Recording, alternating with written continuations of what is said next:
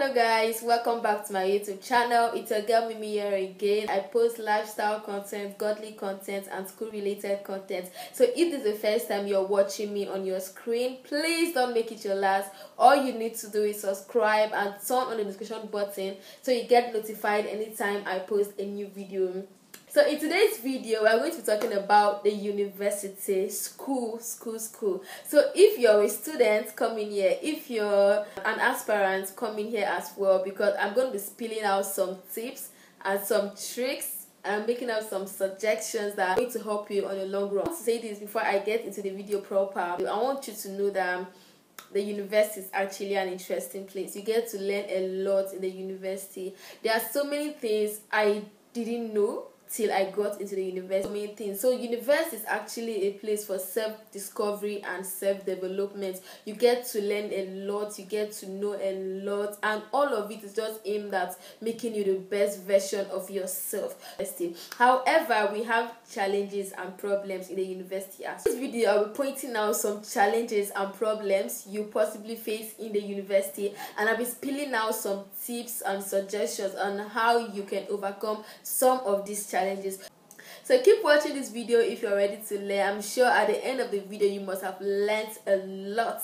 So without further ado let's get right into the video. The challenges you're possibly going to face in the university. The first challenge is lack of money you're gonna need so much money in the university trust me. You need so you need money to get handouts you need money to get materials you need money to get your food stuff like you need money. You there are days you'll be broke there are days you have money and all of that. So the truth is you're going to be broke in school. There are days you will not have food to eat. There are days you will not have money. Like you'll be damn broke. I just want you to make peace with that.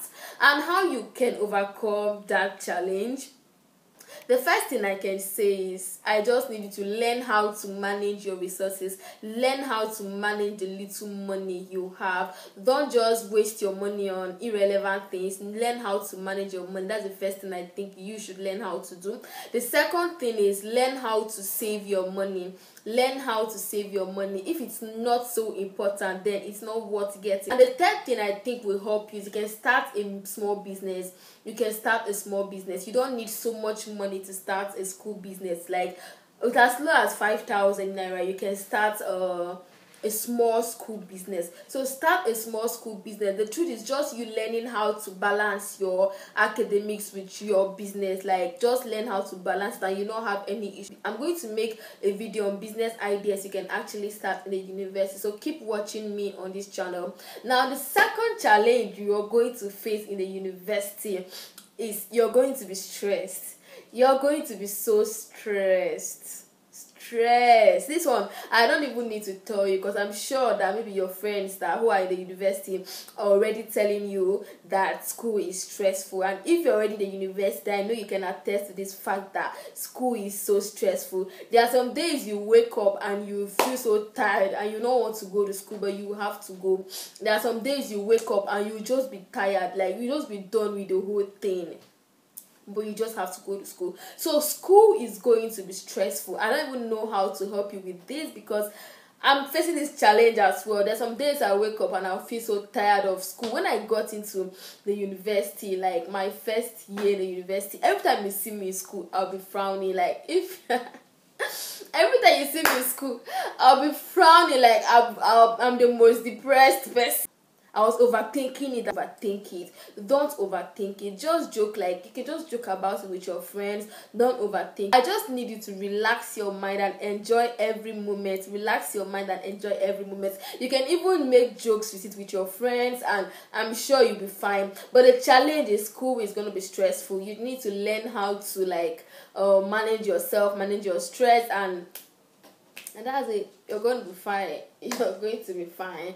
Now the next challenge is this one. If you're just getting into the university then you're going to experience this. The teaching method in the university is quite different from that of the secondary school. Different. Like the lecturer is going to teach you but you need to do the extra work. You need to put in the work. If you actually want to do well academically he's not going to give you all the informations you need. And i feel that's a challenge. You need to go extra mile for yourself. You need to go out there research and get the basics the things you think are relevant to the subject matter. Remember in my 100 level, I took a course from the political science department and that that department is actually crowded. I'm not even going to lie.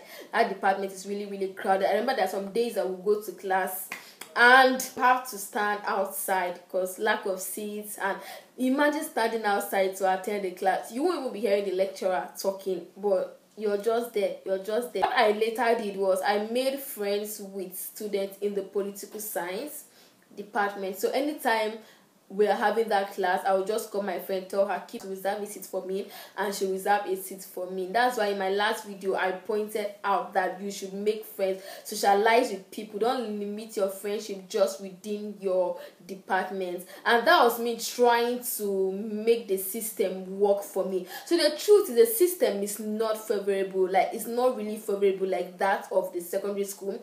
It's not really favorable. Like the system is made for adults. That's what I pointed in my last video I said everyone is seeing you as an adult, like everyone is seeing you as a big person, as a big lady who can take full responsibility of his or herself. So now I feel you just learn to make like just learn to make the system work for you. Imagine going for a class and standing outside to attend a class. Like that is so different. That would never happen. I don't i don't see that happening in the secondary school because in secondary school like all the class everything is made available for your comfort.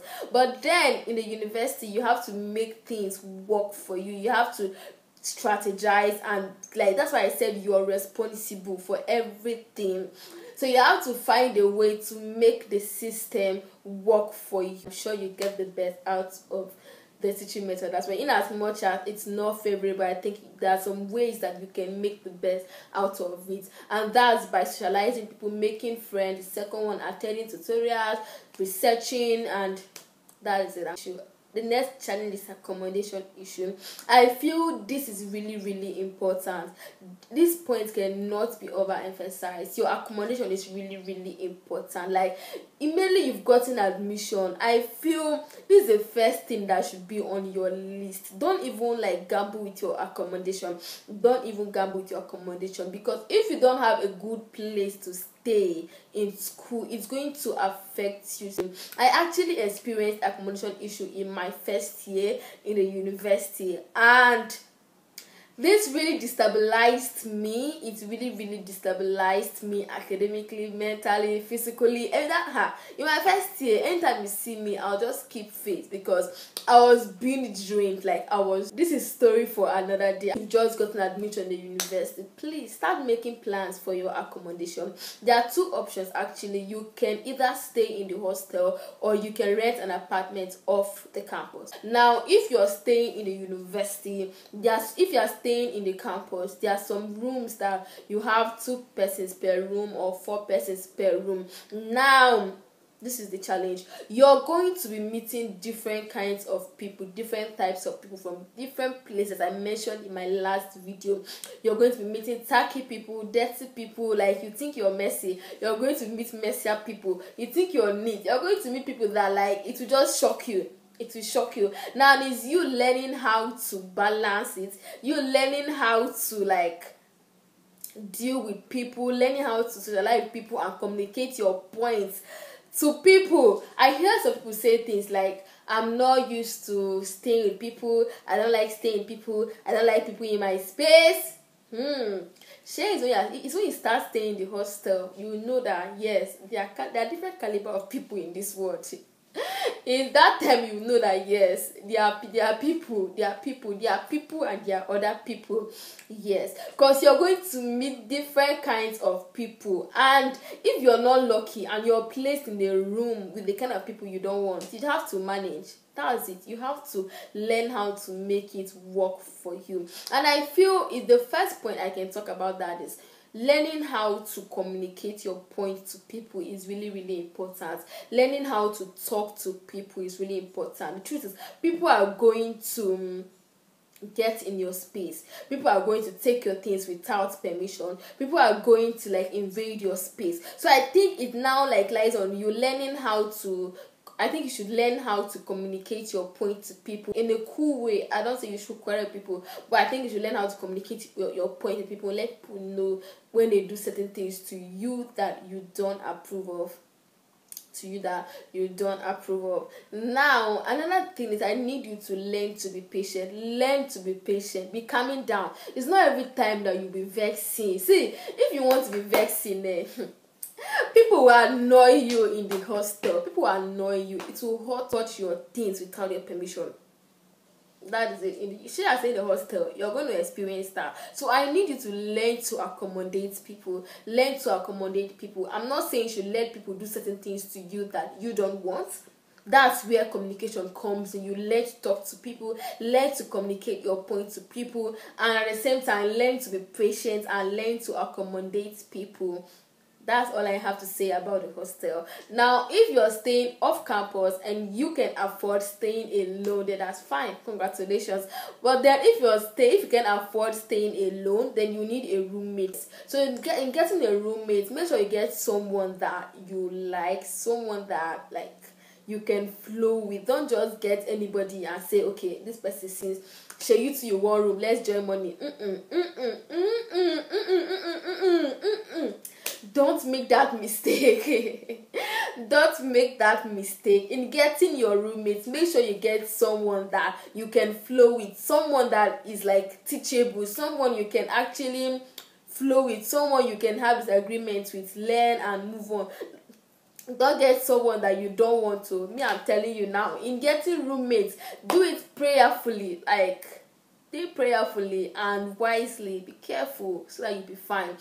Are challenges I can point out today? I'm making more videos because I feel there are so many challenges in the university, and I cannot just get tired of talking about these challenges. I'm going to make another videos on challenges you'll possibly face in the university if you watch this video to the very end please comment like share and subscribe to the channel so you get notified anytime i post another video thank you so much for watching this video to the end and i'll see you in my next video peace